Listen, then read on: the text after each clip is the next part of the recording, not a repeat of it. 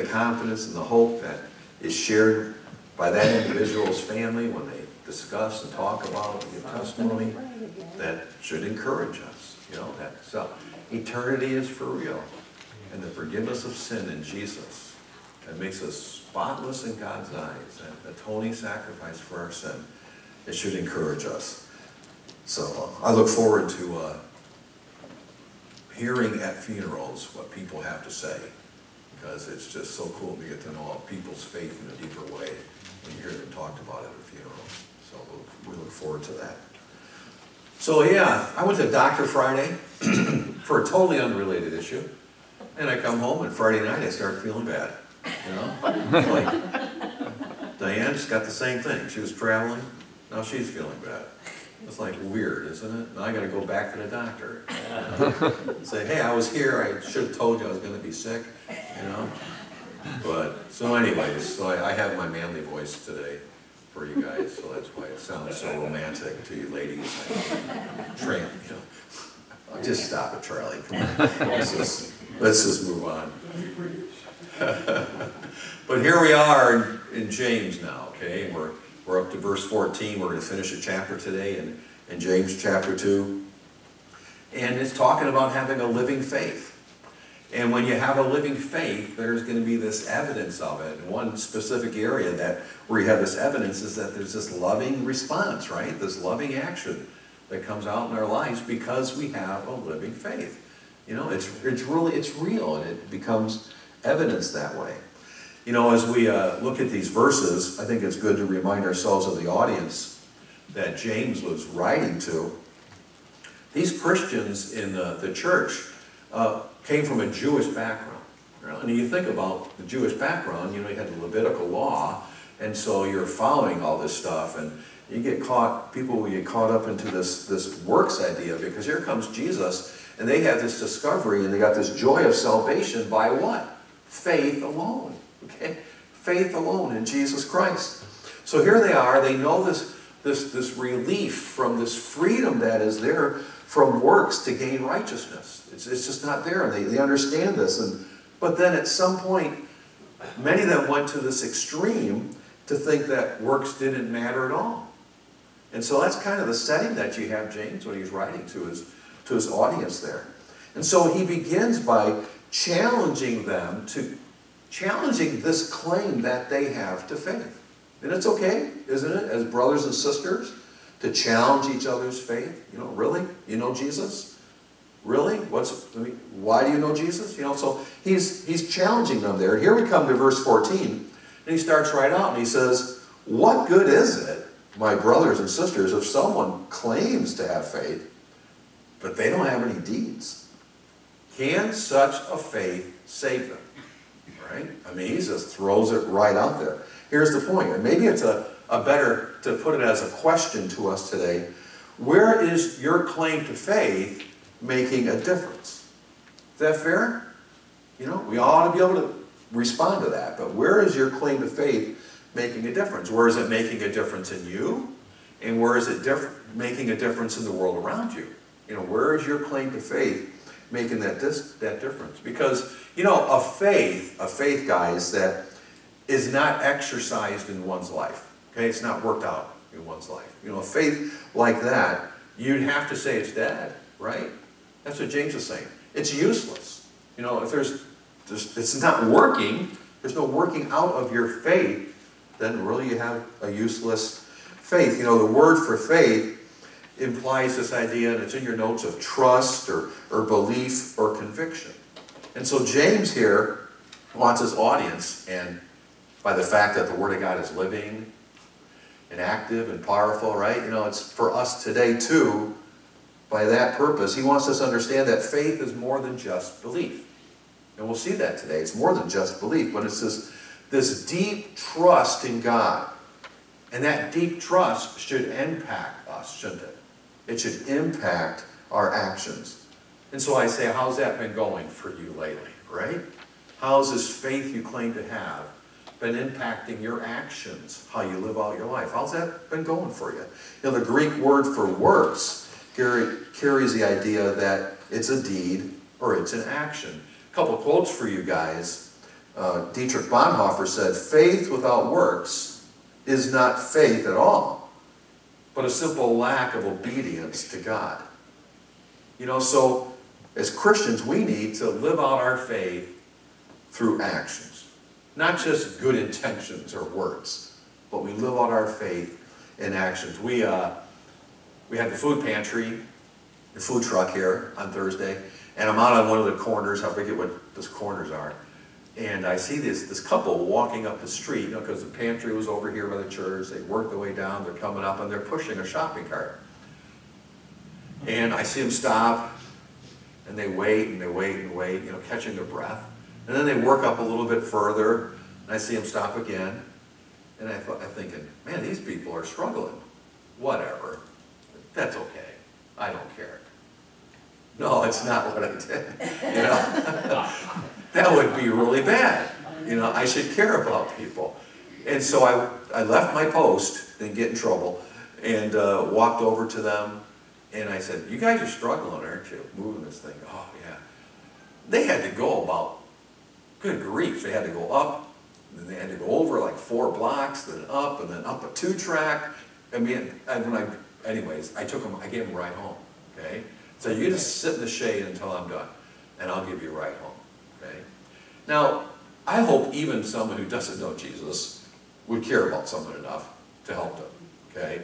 But when we do know Jesus, then yeah, we should care enough when we see someone struggling that if we can, we should help. Not just push a shopping cart, which was really an old broken shopping cart, okay? But we should care about those things. We should do those things.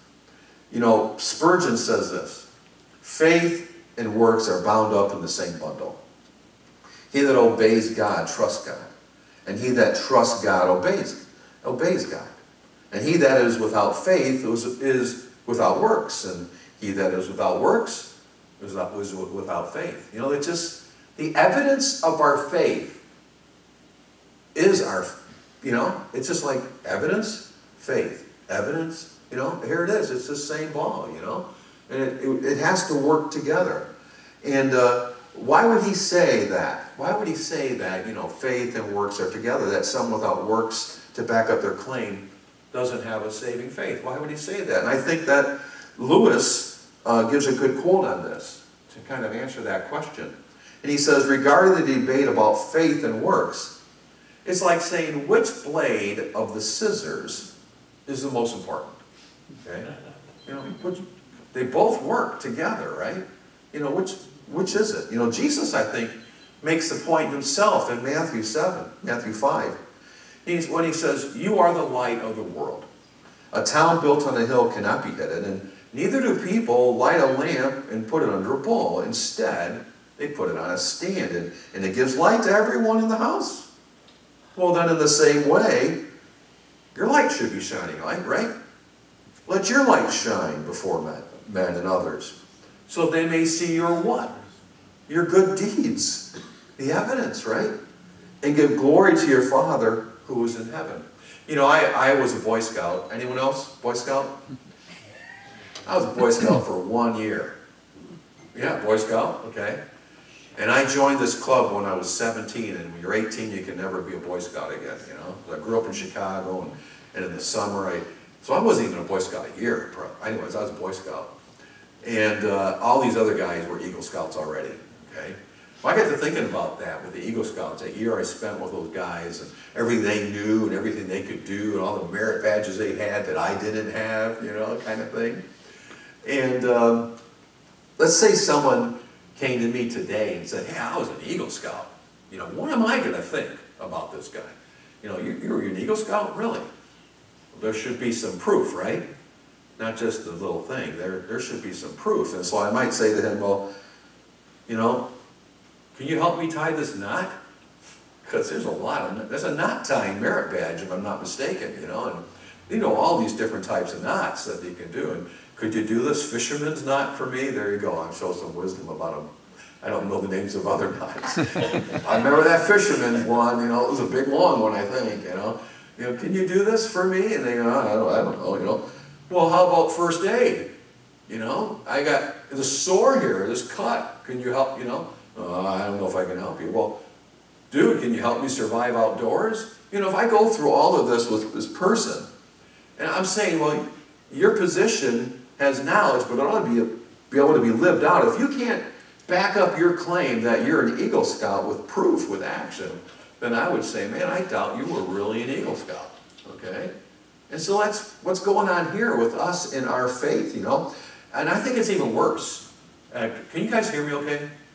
Yeah. Okay. I think it's even worse uh, for, than someone claiming they're an Eagle Scout and they're not. I think it's even worse that when we say we have a faith in Jesus, but that our faith doesn't have concern, our faith doesn't have compassion for others, well, I, that's demeaning to the Boy Scout, to you know the Eagle Scout stuff. But how much more demeaning is it uh, to our faith that we claim to follow if we can't evidence in our life our faith through how we care and how we love others? James says, "Can such a faith save them?"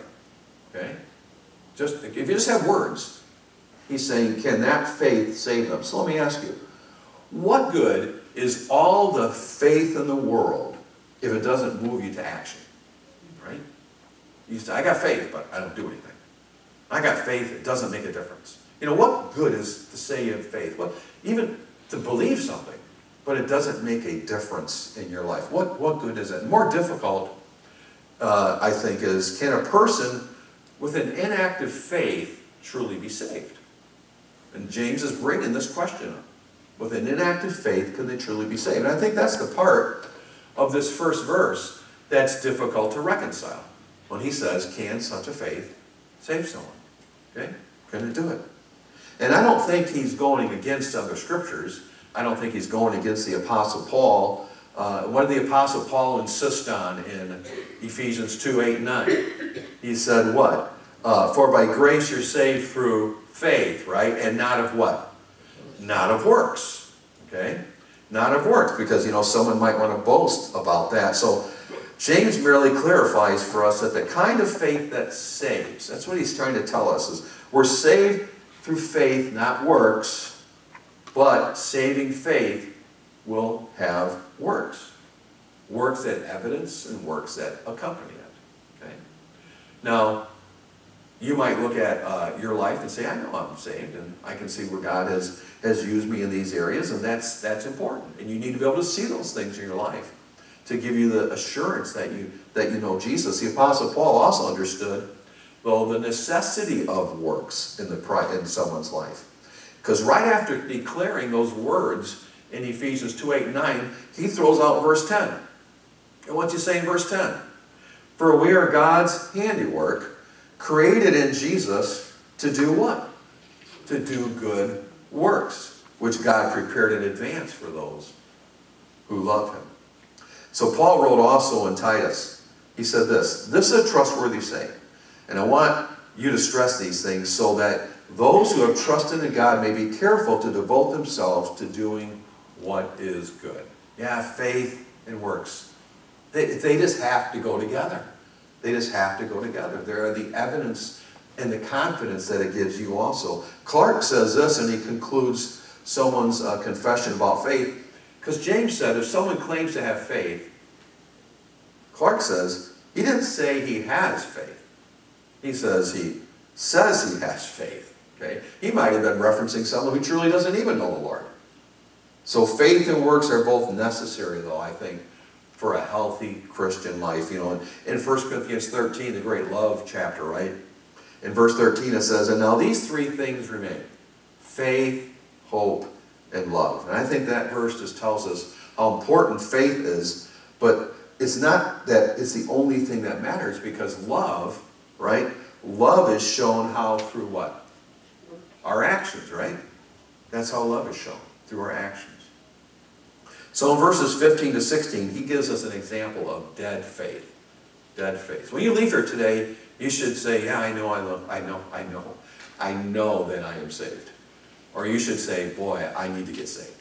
Okay?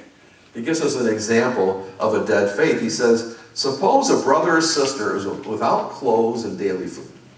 And if one of you says to them, hey, go in peace, keep warm and well fed, but does nothing about their physical needs, well, what good is it?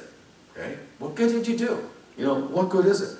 He says, you see a brother, you see a sister in need. This is someone whom you share faith with. This is someone who's in your church body. This isn't just someone that you happen to meet on the street pushing a shopping cart, right? But someone whom you're in fellowship with. And if you see this person and they're in need, and you try to warn them, warm them by just mere words and nothing else, he's saying, is your faith real, right? Is your faith making any impact, right, in, the, in your daily walk? Someone says, yeah, I, I love Jesus, you know, I follow him, but your life doesn't mirror, right? Your life doesn't mirror the life of Christ. Because you just ignore the needs of others. And that's where he's focusing here. You ignore the needs of others. And sure, you offer lip service. You know, James is saying lip service isn't good enough. So just go in peace, be well fed and kept warm. You know, says, where's evidence of your faith? You don't even care about your brothers and sisters. Where is it at? You know, this example, this, these, this example, they fully understood that there was a need and that they, they needed help. They fully understood that. And they, and they conveniently, though, left the caring of these people to someone else. Just, that's not what a Christian does. That's not how we show evidence of our faith through love for those who are around us, especially our brothers and sisters. I mean, you were talking about, let's be straight on this, the, the simplest good works towards a brother and sister. Every one of us have clothes, right? I'm glad you wore them today? Every one of us, praise God, have food. To some degree, to some level. Every one of us have food. It's just the most, the most basic that is there. So it's the simplest of good works that can be done. And that's why James says, an unwillingness to care for people in the most simplest things of life, just food and clothing, okay, demonstrates that, man, you just don't show a living faith. You just, this is how much more easy could it be than to take half of your piece of bread and give it to them? How much easier could it be than to take that second shirt you have and give to them? You know, I mean, come on, this is the most basic, easy things to do. And if we're not willing to do that for others, where's the evidence of our living faith? So he's demonstrating that someone does not have a living faith and he's saying you can only be saved by a living faith, right? You can only be saved that way. James 17 says this, in the same way, faith by itself, if it's not accompanied by action, is dead. Okay? That's what he's saying. You know, can you imagine um, staring at a dead fish? You ever done that? You know? Only after you try to, if you're me, you try to gut it or something. You, you know that's a dead fish, you know, and you really messed this thing up, okay? But imagine staring at some a dead fish, and this person next to you keeps saying to you, "It's alive, it's alive." Really? You know, and so you stare a little bit longer, and you stare a little more more intently, and you're trying to look for this the slightest movement. You know, they they said it's alive, and you're staring at this thing, but there is no movement. You know, you're, you're looking at a dead fish. So at some point, you turn to this guy and say, "Man." That fish is dead. That fish is dead. And you say this because there's no logical reason to believe it's alive, right? It's out of water. It's just laying there. There is no movement. I'm going, that's a dead fish. Regardless of what my buddy thinks, that's a dead fish. Time for Charlie to try to get it. Can't do any more harm, right? That's a dead fish. And James is saying, the faith that you claim to possess it's meaningless. It's useless to others. It's as good as dead because there's no life to your faith that you claim to have. He's saying if you if you uh, you claim to have that, it's dead. But you you go, I want to defend myself on this, you know, so you fight you fight back against James and you say, how can you say my faith is dead? You know, how can you do that? How can you say my faith is dead? You know, so James just hits him a little harder where it hurts. And in verse 18 he says, but someone will say, I have faith. You, someone will say, you have faith. Well, I have deeds. Okay? I have deeds. And you know, he says, I'm living out the reality of my faith in Jesus. I have deeds. I'm, I'm helping meet the needs of others around me. I have deeds. I'm sacrificing my time. I'm sacrificing my possessions. I have deeds. I'm sharing the love of Jesus with words and actions. Yeah, my faith has deeds. Okay? That's where my faith is. Now you, show me your faith without deeds. And I'll continue to show you my faith by my deeds. So don't tell me you follow Jesus, James is saying. When you don't live out and do what Jesus would do. That fair? I hope you think it is. Okay? That's fair. But you continue to still defend yourself in that setting.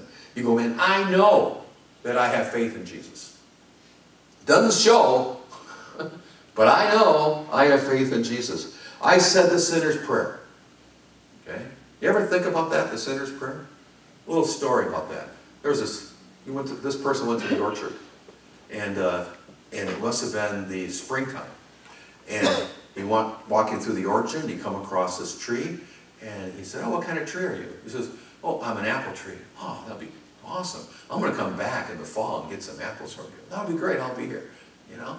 And so in the fall, he comes back to the orchard, he walks out to that tree, and there's these yellow, these orange balls hanging from this tree. Okay? And he goes, I thought you said you were an apple tree. I am an apple tree. Yeah, but I got these orange balls hanging from your tree. They kind of look like oranges to me. Oh, no, no, no, no, no, no, no. I'm an apple tree. Well, how can you say you're an apple tree when I see orange? Listen, don't argue with me. When I was just a little sapling, I prayed the apple sapling tree prayer on the apple tree. Okay? Now just, gotta be careful, right? You know, I prayed a sinner's prayer. I heard I prayed a sinner's prayer. I must be saved.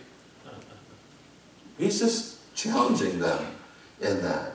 Don't tell me that. You continue to defend yourself. You know what? It might be true they prayed a sinner's prayer. Okay? I did. Actually, yesterday was my spiritual birthday. No one told me happy birthday today. September 7th, 1972 at 7.36 p.m. You go, how could you know that? Because I happened to look up and there was a clock. Okay? And I've never forgotten it. Okay? September 7th, 1972. Happy birthday me. The best birthday, isn't it? The best birthday of all. I'm just glad I remember it. That I, I have that. I know that was the moment when I came to faith in Jesus Christ. See, I prayed the sinner's prayer. I believe in God. But you see, someone may have heard the truth, but it doesn't mean that that truth has taken root in their heart and life, does it? Just because they've heard the truth. Has it taken root? In fact, Jesus in Matthew 7 says this, Not everyone who says to me, Lord, Lord, will enter the kingdom of heaven, but only those, the one who does the will of my Father who is in heaven. That's who. The verse shows that actions doing God's will are just as important as faith. You know? Just part of it there. Perhaps the Apostle Paul uh, in 2 Corinthians 13 is why he wrote this. Examine yourselves. Why? Why? To make sure you're in the faith. Examine yourselves. It didn't just head knowledge, is it? Has it made it to your heart? It lived out in your life? Examine yourself to make sure to see whether you're in the faith. He says, test yourselves. Is there love? Is there love evidenced in action, right? Do you not realize that Jesus Christ is in you? Unless, of course, what? You fail the test. It becomes obvious to you that, no, it's just been a head knowledge. I need to examine myself. Here's a good thing to consider. If I were to say to you, show me your faith apart from your works. I mean, I would say to you, show me your faith apart from your works. What would you show? What would you point to? Okay? What would you do that? Now, perhaps you might respond, before I trusted Jesus, I, uh, I looked for contentment in the things of the world. Well, that would be, that would be good, but to, to be able to see that, to remember that. You know, I, okay. And before I put my faith in Jesus, I, I never thought about reading the Bible. Okay? Well, I could believe that too, and I'm glad you do now. Okay? You know, that, that would be something you could point to. And Before I knew Jesus, my thought life was out of control. You know, just totally out of control. Before I, I, I trusted Jesus, I didn't care how I treated others. You know, before I trusted Jesus, I was afraid of dying. Maybe there's a list that you could come on, but James is dealing here with where's the action in our life? You know, where is it lived out in how we serve the Lord in our life? That's what he's doing. And your changed heart should be impacting how you live your life. Again, how has that been playing out for you recently? Your changed heart should be impacting how you live your life. And in verse 19, he says, You believe that there is one God? Well, good. Even the demons believe that, and they shudder. And make no doubt about it, the demons' actions are unrighteous. Right? They, they know there's a God. They believe there is a God. But the fruit of their existence is just rotten, isn't it? You know, the demons. It's just, just rotten fruit in their lives. That's why knowledge alone won't save anybody, will it? Your knowledge alone about who Jesus is won't save you. Knowledge without saving faith is worthless, James says. It's, it's dead. And he goes on in verses 20 and 24, it says, You foolish person. Do you want evidence that faith without deeds is useless? Well, was not our father Abraham considered righteous for what he did when he offered his son Isaac on the altar? You see, that his faith and his actions were working together. And his faith was made complete by what he did. And the scripture was fulfilled. It says, Abraham believed God, and it was credited to him as righteousness, and he was called a friend of God. You see that a person is considered righteous by what they do and not by faith alone. You foolish person, he said. What does that mean? That's pretty strong words, isn't it? You know? You foolish person. And it just means an empty man. Okay? It comes on, you know, metaphor like from, a, from an empty an empty container. That your faith without fruit is just empty. You know, it's just like you're, you're nothing. You know, there, there's no evidence. It's just, you're, you're empty. You need fruit. And Abraham was counted as righteous, it says. And here the point is made that Abraham, here Abraham had this incredible faith, and it was active in his works. And we, we know the story of Abraham there with Isaac.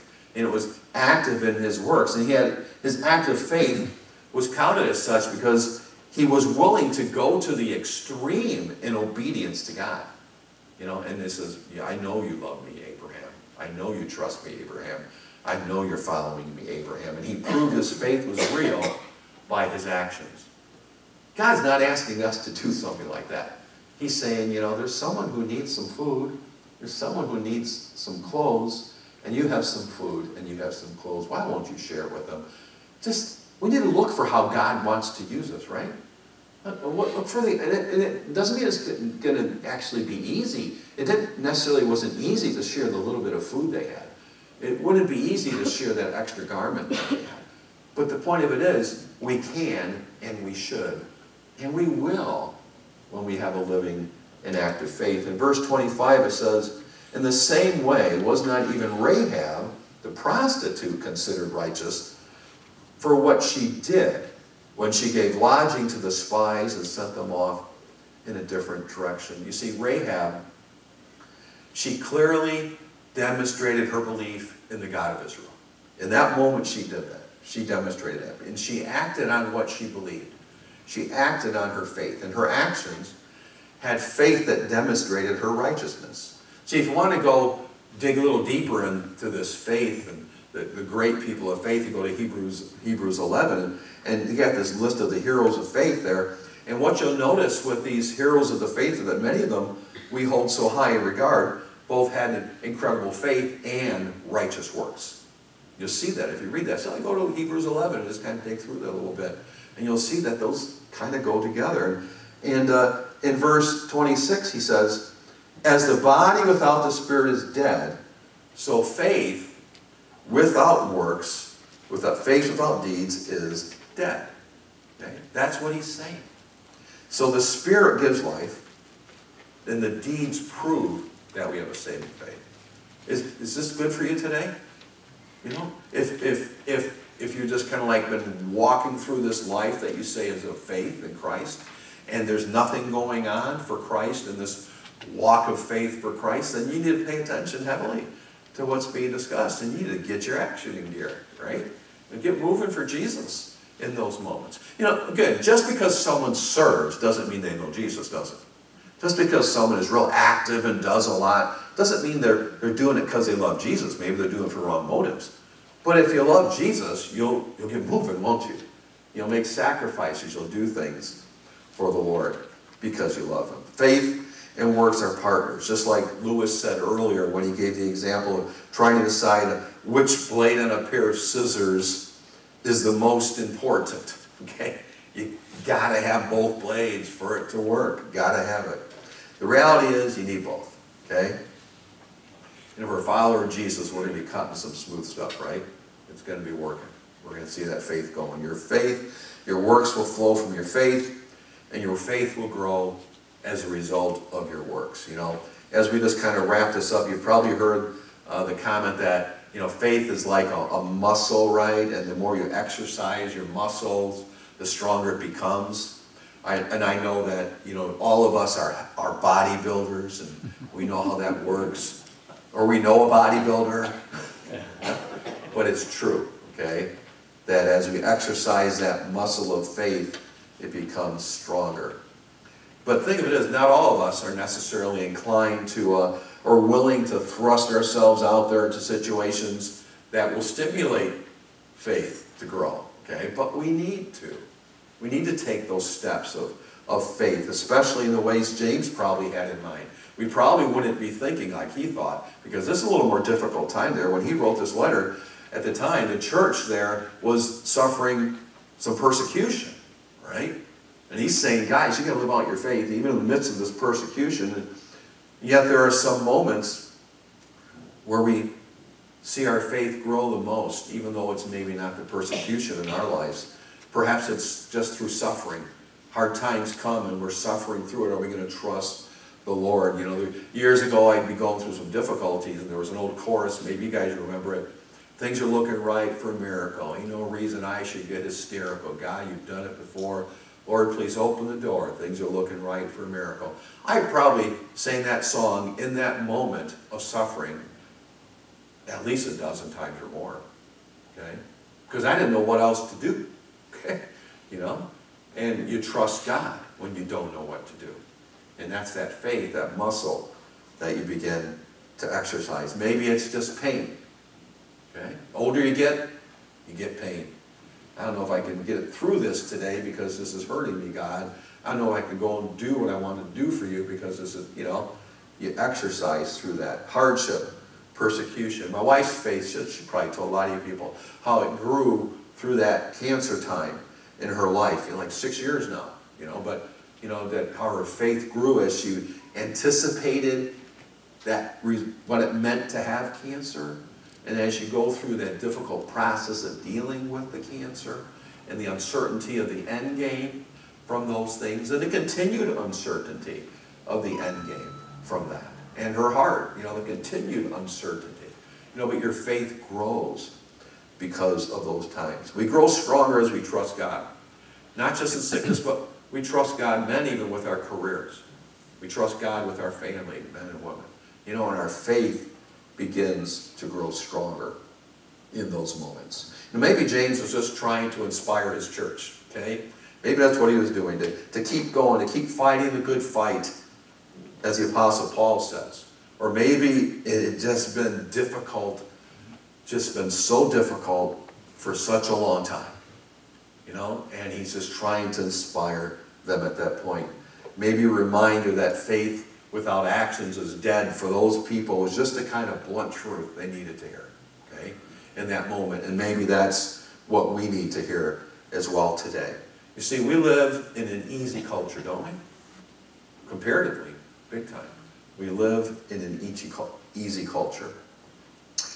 And uh, it's totally different from the one James was writing in. So there's a, this audience is listening and they're experiencing things that are far more difficult than us. And to even live out their faith was far more difficult than what it takes for us to live out our faith. But there are believers, even today, all around the world, who are faith, facing very real life or death situations, persecution because of their faith.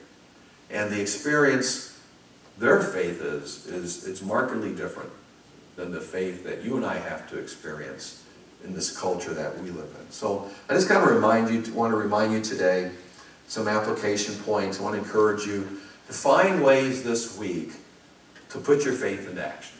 Now that would really be, you go, come on, you find. Maybe you've never thought about putting your faith into action, okay? Maybe been so self-consumed that you just don't think outside of what you think is important for you. And so look for how, look outside yourself. You know, open your eyes to the needs around you. And God, what can I do this week that evidences to me that my faith is real in the works that I do for you? Look, look for that. You know, it could be pushing, stopping someone pushing a shopping cart and saying, I'm going to give you a ride. Just sit here for a while, okay? Just looking, looking around you. What, what could you do? And don't get too comfortable, okay? I would say this week. Or worse, complacent in your faith. Just don't do it, you know? You know, as you spend time each, each day in the Word of God, oh, wouldn't that be a way to really build our faith? you know? Just to hear from God every day. But as, you, as you're doing that, you know, uh, don't get complacent in your faith. Do what it says, you know, do what the Word of God says. Allow yourself to get into situations that'll stretch you, to help you grow as a believer. Allow yourself to be in those situations. Don't be afraid of, of doing the hard things for the Lord. Okay? Don't be afraid of those things. And pray that God would give you the courage to step out in faith with those moments. And that the courage to step out in faith today seems to be, I'm willing to speak up for Jesus. You know, I think that's the courageous thing it takes for most people. And myself included. Okay? I, I need to speak up for Jesus. We take the courage to do that. And remember, the world is hungry, guys, for the good news of Jesus Christ. They need it. Okay? They're hungry for it. And we are God's chosen messengers to spread the good news of Jesus Christ. And what a joy it is to know that your faith is real, right? Amen. What a joy it is to know your faith is real. And what a joy it is to know that your faith works. Okay? Your faith works. Father, thank you for your love for us. Thank you that you proved it by sending Jesus. And God, help us to be followers of you who, who care that our life evidences that we're your followers. Help us to have a love that is evidence in the actions that we take and how we show your love for others. Help us to do those things. Help us to put others first. Help us to care about the needs of others. In Jesus' name, amen. Yes, 22 slides. And